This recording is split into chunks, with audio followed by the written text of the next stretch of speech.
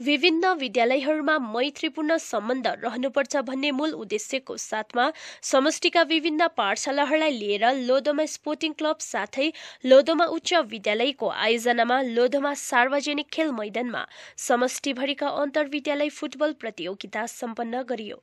गत केही दिनदेखि आयोजना भइरहेको खेलको छात्रवर्गमा फाइनल खेलमा भानु हाई स्कुल साथै डाँडागाउँ उच्च विद्यालय माझमा भयो भने भानु हाई स्कुल विजयी बनेका छन्।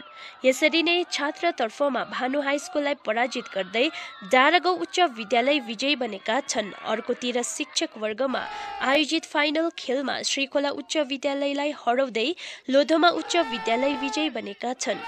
क्षेत्रीय सभासद नोर्देन शेर्पाको विशेष उपस्थिति थियो भने उनी श्रीखोला स्कुलको शिक्षक दलको पक्षबाट मैदानमा समेत उत्रेका थिए। एउटा अब फुटबल यहाँनिर आज इन्टर स्कुल फुटबल म्याच भइरहेछ है। यहाँ हाम्रो रिम्बिक लोधना समष्टिमा पाँचवटा सरकारी स्कुल अनि अन्य गैर सरकारी स्कुलको एउटा समावेशीमा है कोअर्डिनेसनमा चाहिँ एउटा फुटबल म्याच अर्गनाइज भइरहेको छ है। अनि यो सरकारी अनि गैर सरकारी स्कुलहरूमा यो प्रकारको कोअर्डिनेसन हुनु एउटा मैत्री भाव एकअर्कामा एउटा स्कुलहरूमा एउटा मैत्री भाव हुनु अनि जुन नानीहरू छ नानीहरू पनि एउटा स्कुलले अर्को स्कुलसँग एउटा एउटा सम्बन्ध राख्न सक्ने है? उनीहरूको एउटा एक्स्ट्रा करिकुलर एक्टिभिटिजमा कुन स्कुल चाहिँ हामीभन्दा अलिकति अघि रहेछ? र उनीहरूले पनि एउटा प्रोत्साहित हुने मौका पाउँछ है? र त्यही हो एउटा चाहिँ एउटा फ्रेन्डसिप म्याच जस्तो भने जस्तै हो यो एउटा उहाँले यो हाम्रो बडा दसैँभन्दा अगाडि यसरी एउटा यो लोधोमा खेल मैदानमा यसरी फुटबल अर्गनाइज गर्नु भनेको यो एउटा राम्रो सङ्केत हो है? र हामीले यो एउटा ट्रेन्डलाई यसरी नै यसपल्ट मेजबानी गरिरहेछ लोधोमा हाई स्कुलले होइन? अन्य अन्य अब अर्को वर्ष अन्य स्कुलले यसको मेजबानी गर्छ।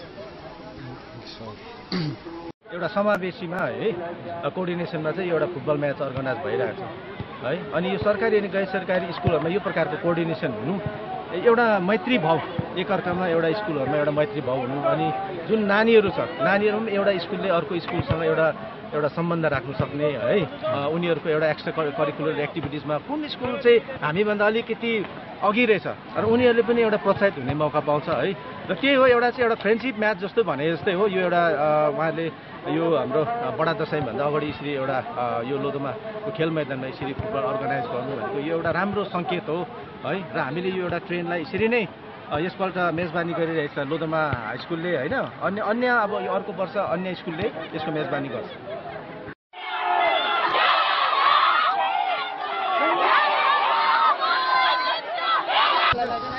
आजको म्याचको विशेष कुरा चाहिँ के छ भन्दाखेरि चाहिँ यो भेगमा हजुर इन्टर स्कुल टुर्नामेन्ट चाहिँ पहिलापल्ट भएकै हो जहाँ चाहिँ स्टुडेन्टहरूले पार्टिसिपेट गर्छ भने टिचर्सहरूको चाहिँ फर्स्ट टाइम हो र यसमा पाँचवटा स्कुलले भाग लिएको थियो होइन जसमा आज फाइनल चाहिँ लोधोमा हाई स्कुल र श्रीखोला ट्राइबल हाई स्कुल माझमा हुने तय भएको छ र यो टुर्नामेन्ट चाहिँ विशेष गरिकन यहाँको जति पनि अलिकति सिनियर डिभिजनको प्लेयर्सहरू जस्तो फुटबलहरू खेल्नु छोडिसकेको छ होइन जो सायद चालिस पचास उमेरको बिसतिर होला या त्योभन्दा पनि बेसी होला उहाँहरूलाई पनि एउटा प्रोत्साहन होस् है।